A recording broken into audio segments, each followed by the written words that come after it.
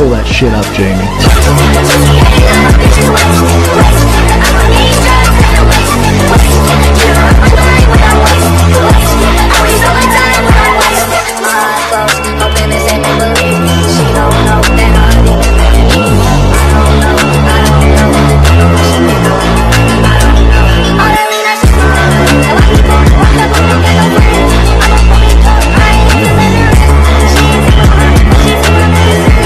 This motherfucker don't miss.